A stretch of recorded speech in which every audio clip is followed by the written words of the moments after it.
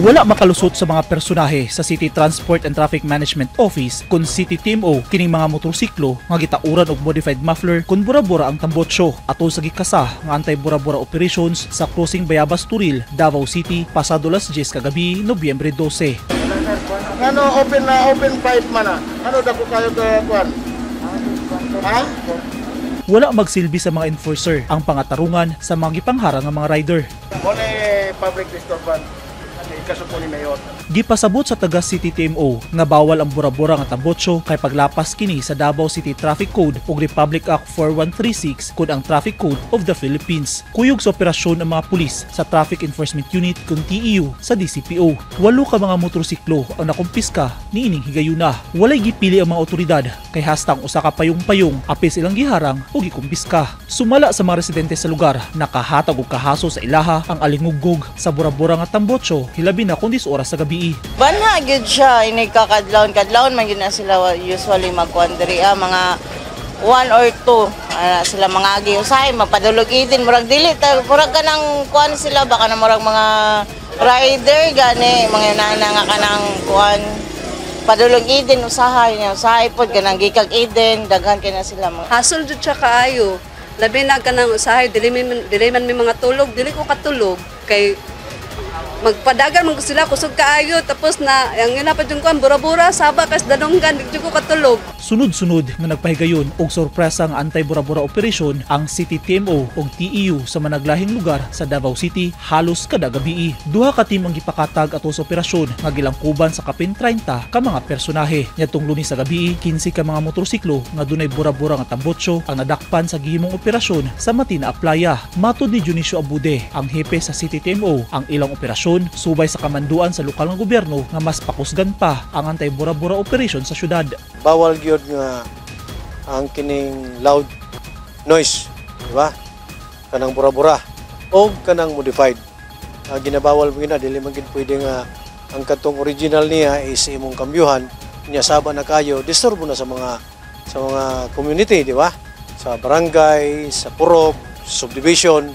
So muna siya ang mga complaint gyud nga perting saba manggawas sing aning orasa uh, kuha na kayo sa gabi nga tulog na manggawa sila. So yun saba niya siyempre ang uban dia mga bata di ba? Agian lang nimo ang isa ka iskinita. Kusog kayo ang kuan ang imong bura-bura. Disturbo jud kayo no? Kuan jud kayo nga dapat uh, magmatngon gud ang atong kining mga kagiya sa motorcycle nga dapat uh, moabide lang gyud sila sa kuan sa atong ordinance ug sa atong kuan sa Republic Act 4136 Apil sa operasyon sa City TMO ang pagkumpiska sa mga payong-payong ug mga sakyanan nga adunay dagkong mga speaker nga maglanog-lanog ang tingog. Siguraduhon sa mga otoridad nga masilutan gyud ang mga badlungon nga mga driver. nga violation na siya sa modified muffler. So doon ay sa ato lang sa sa atong city ordinance doon na sila penalty nga 500. Pero ah gimando pod nga dapat ilisan ang iyang kwan, ilisan ang iyang tambutso. In fact ang nakabutang pagani sa atong ordinance nga mismo katong tagiya sa motor motoy magdala diri og iyang mekaniko mismo nga para ikambyo tong iyang original nga kuan nga tambutso. No kay kana siya halos modi- modified gyud ni tanan. No gipagamyan, gipadakan ang katong tubo nya gikalkal, no? Ikalkal tong ni. So munang uh, saba na jud siya kayo. Ah ginatanaw na mo dire ang katong kuan katong aftermarket ba. Nga gikambyo na siya. Kana siya pod provided nga kuan na siya na suitable na siya sa kuan DTI nga kuan nga